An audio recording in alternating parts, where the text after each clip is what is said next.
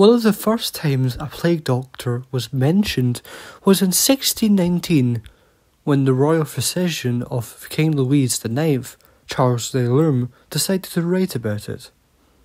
Eventually, in 1656, an engraver, I'm not going to read that name, decided to publish one of the most famous pictures of a plague doctor. And soon, this became one of the biggest symbols of the bubonic plague during the medieval times. The plague doctor outfit consists of a massive overcoat with a massive beak to go with it, usually carrying lavender. More recently, these plague doctors have been around Scotland and they've been watching school children during the day. Let me tell you more about the Falkirk Plague Doctors.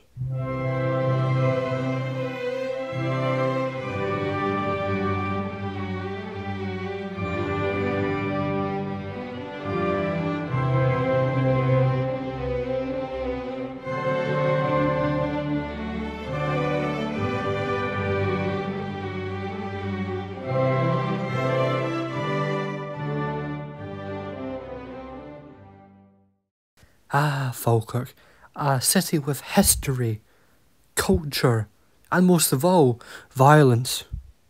Now, I don't really have an opinion on Falkirk, but let me just show you a video of two lovely men telling you all about Falkirk.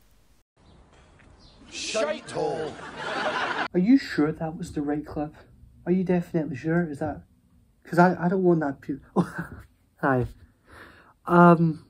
Yeah, Falkirk is a crime-riddled area from top to bottom.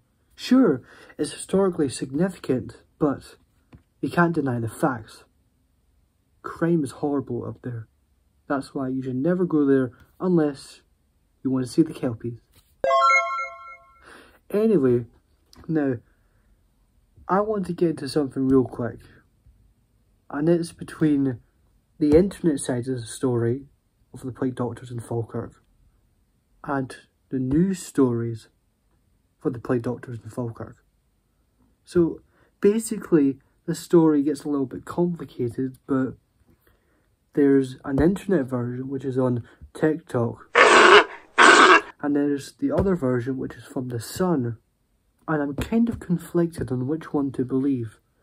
Do I believe it from the general public, or do I believe it from a news article from various sources? I'll like I'll I'll tell you guys the tales from both. So, this is going to be the internet part where I explain the internet version of the story. So, according to various users on TikTok that are from the Falkirk Council area, basically what's happening is that there's been a bunch of people in these plague doctor masks roaming about streets, kidnapping children, kidnapping women, kidnapping basically everyone, and killing them, sexually assaulting them, basically doing all the nasty stuff to them, which is horrible and should not happen at all. I don't want that to happen to anyone, anywhere at all. But what's strange to me is that the internet is telling me one thing, but there's a news article about it. In fact, various news articles that tell us a very different story.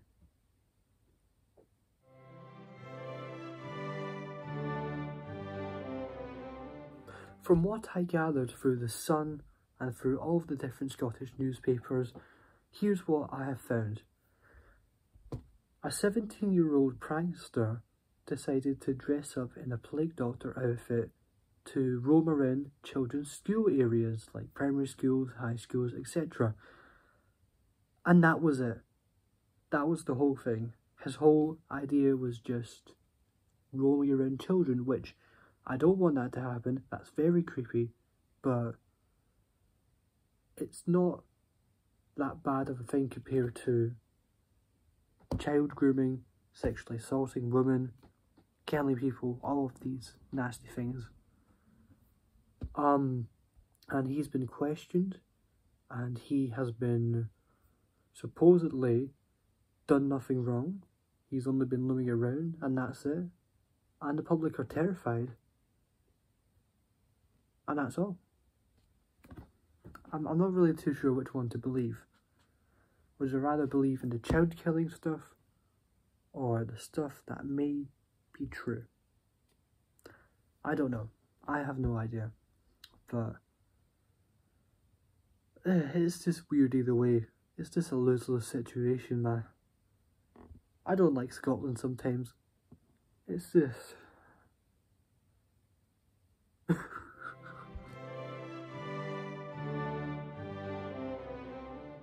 In conclusion, stay away from Falkirk, because you're not supposed to travel anyway, and don't be a creepy bastard. That's my conclusion, and thanks for watching. Goodbye.